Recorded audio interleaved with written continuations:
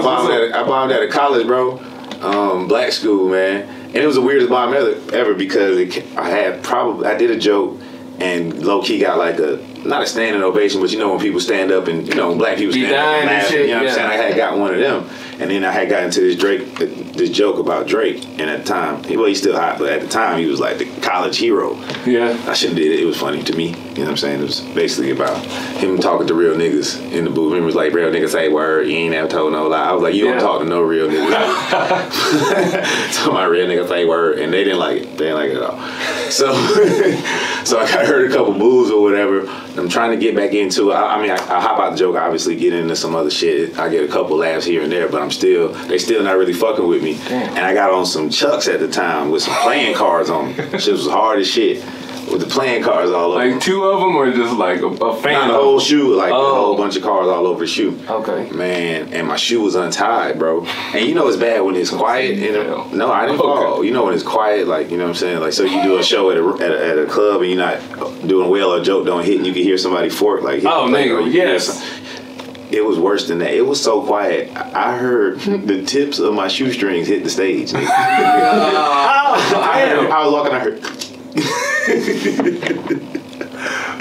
I tell you that shit threw me off so bad, first. that shit threw me off so bad. Nigga, your spirit was hurt. And to make matters hundred percent worse, I was a feature, right?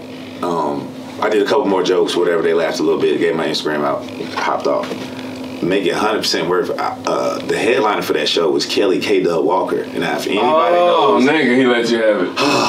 Woo! if anybody's done a show around K Double when he's hosting, if somebody bombs, he does Boy. this thing where he talks about how you walk you walk off the stage in slow motion and he can get the DJ to play a slow motion, I mean a slow ass song. Oh, and, man, listen, it was some of the funniest shit I've had said against me. nigga, you was in the corner, upset with everybody. No, no, no. You know what?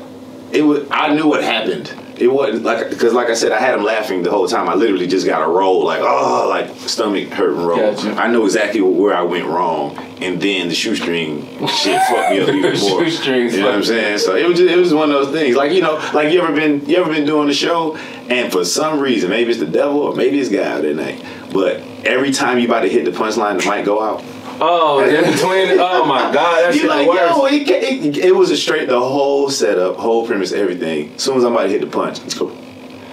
And you just look like you mouthing the words. Yeah, shit like that. And then Every, don't people don't understand about being a comedian. Every, some little things that can happen to you, or somebody talking Nick. over your punchline is like, ah, or you stutter a little bit, Like you double say the word. double say the word or something, Yeah. Mm-hmm. stutter a little bit, it takes away from the punch. It's, it's a lot. It's a lot to being a comedian, man, for sure. Yo, Furg, what up?